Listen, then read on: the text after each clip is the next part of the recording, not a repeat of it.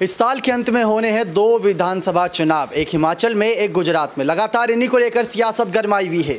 BJP जहाँ पर अपनी कमर कस्ती नज़र आ रही है और दोनों ही राज्यों में भारतीय जनता पार्टी का दबदबा देखने को मिल रहा है, लेकिन कांग्रेस पार्टी भी कई हद तक यहाँ पर अपनी पकड़ मज़बूत बनाने की कोशिश करती नज़र आ रही है। गुजरात चुनावों में जहाँ पर रघु शर्मा और अशोक गहलोत को उतारा गया है तो वहीं दूसरी तरफ़ हिमाचल चुनाव में यहाँ पर तैयारी कुछ और नज़र आ रही है कांग्रेस पार्टी की। वहाँ पर युवाओं को ज़्यादा ज़िम्मेदारी दी जा रही है। हिमाचल चुनाव में बल्कि बड़ा खेला कर सकती है कांग्रेस पार्टी, क्योंकि राजस्थान की ही तरह वहाँ पर भी पाँच पाँच साल का यहाँ पर कई सारा सवाल रहता है कि बीजेपी और कांग्रेस कांग्रेस और बीजेपी। लेकिन वहाँ पर आपको बता दें, पायलट और प्रियंका की जोड़ी जनता के बीच उतरेगी। कहा जा रहा है कि गुर्जर समाज को यहाँ पर पायलट अपने कहीं ना कहीं पूरी तरीके से बयानों के आधार पर अपने हक मिला सकते हैं और उनके समर्थन पा सकते हैं। क्योंकि मोदी सरकार से पायलट खेमा खास नाराज़ था और यहाँ पर गुर्जर समाज भी नाराज़ था। लेकिन अगर बात करें हिमाचल चुनाव की तो हिमाचल चुनाव की तारीखों का ऐलान हो चुका है और साथ ही साथ लगातार भारतीय जनता पार्टी भी सभी विधानसभा सीटों पर अपनी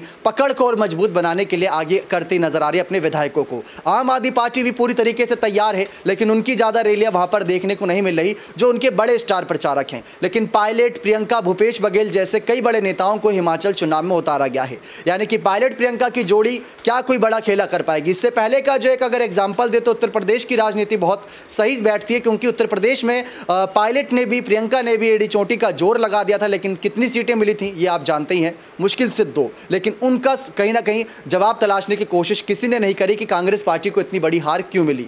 लेकिन कांग्रेस पार्टी हिमाचल चुनाव में कोई बड़ा खेला कर सकती है। और वहाँ पर अगर बात करें तो हिमाचल चुनाव में लगातार सक्रिय राजनीति करती नज़र आ रही है कांग्रेस पार्टी। और पायलट अभी तक हिमाचल चुनाव के पर्यवेक्षक के तौर पर थे, लेकिन आने वाले वक्त में कुछ और बड़ी जिम्मेदारियाँ क्या मिलती हैं या नहीं, ये देखना दिलचस्प रहेगा। प्रियंका गांधी की जो पिछली रैली रही थी, वो रैली को लोगों ने बहुत ध्यान से सुना था। और उस रैली में जो जनसैलाब आया हुआ था, उससे अंदाज़ा लगाया गया कि बीजेपी के लिए इतनी आसान नहीं रहने वाला ये चुनाव। अब देखना यही दिलचस्प रहेगा कि हिमाचल चुनाव में पायलट प्रियंका क्या बड़ा खेला करते हैं। पायलट का क्या ऐलान रहता है, क्योंकि पायलट अभी तक हिमाचल चुनाव में इतने सक्रिय नज़र नहीं आए। अब कांग्रेस का नया अध्यक्ष मिल चुका है, मल्लिकार्जुन खड़गे के रूप में, और मल्लिकार्जुन खड़गे अपना रिकॉर्ड तो खराब करने वाले हैं नहीं, क्योंकि अध्यक्ष पद पर वो हैं तो ज़िम्मेदारी उनकी बनती है कि आने वाले वक्त में कांग्रेस पार्टी को कोई और बड़ा नुकसान ना हो।